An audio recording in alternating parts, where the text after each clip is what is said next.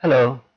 In this video, I am going to talk about an effective exercise for language maintenance.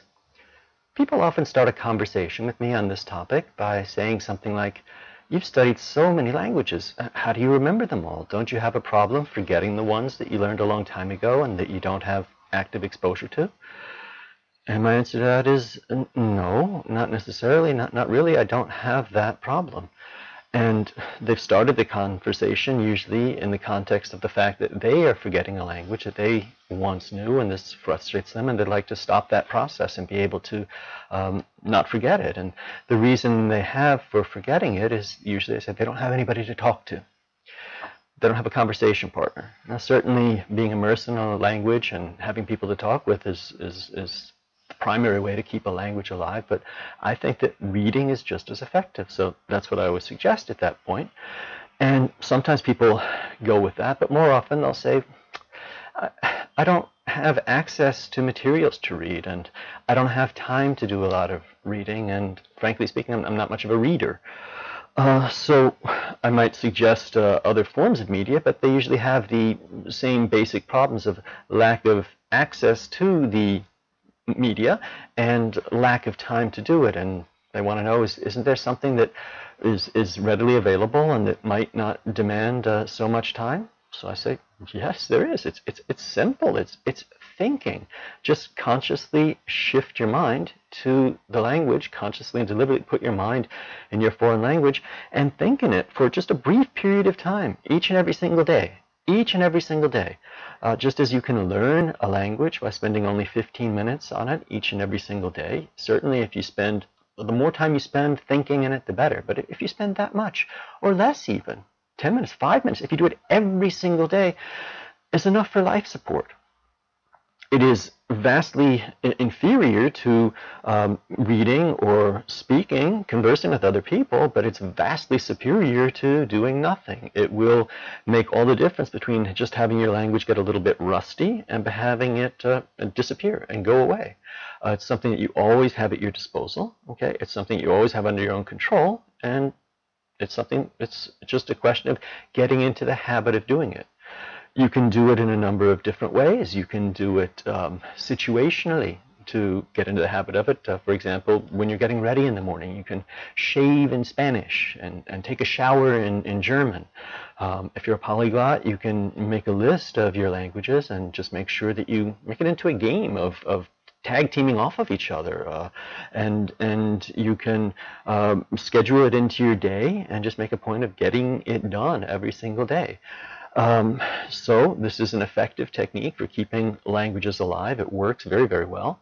Um, and when I've explained this to people in the past, by this point, usually a light would go on in their eyes, and they would say, ah, that, that's interesting. That's a good idea. I, I never thought of that. I'm going to give it a try.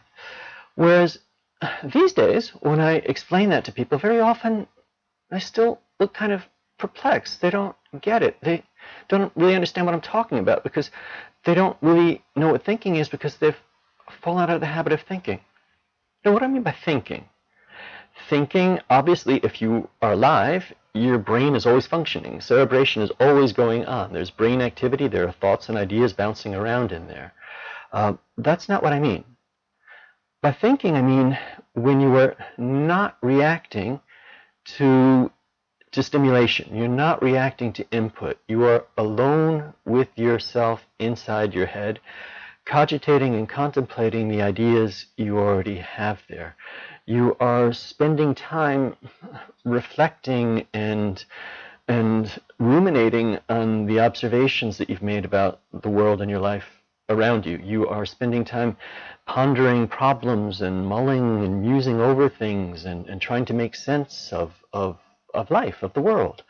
Um, you need to be able to do this in your own language before you can do it in a foreign language to get this technique going. And uh, I'm afraid that this ability is being sapped from us in, in modern times, uh, by modern society, by, by many, many factors, but certainly the main public enemy number one in this regard has got to be the smartphone that so many people seem to have in their hands at all times. It seems like 90, 95% of the people that I see when I leave my building in the morning, I get in the elevator, they're, they're glued to it. They get on, I get on the bus, they're glued to it.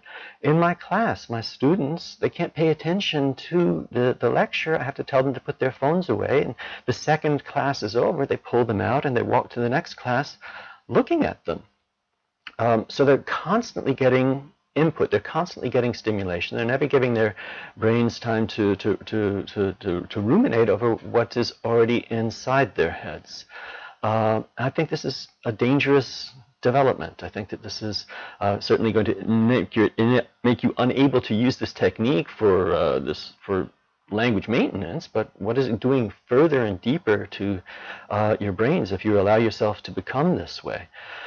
Don't worry, I'm not going to go into uh, much more detail about my survey, but I have some data for there that I have to from there that I have to share here in this regard, and that is even in this community, people who are watching this who answered this survey, um, there was a question you might remember about uh, do you spend time each day thinking, and 60% of you said no.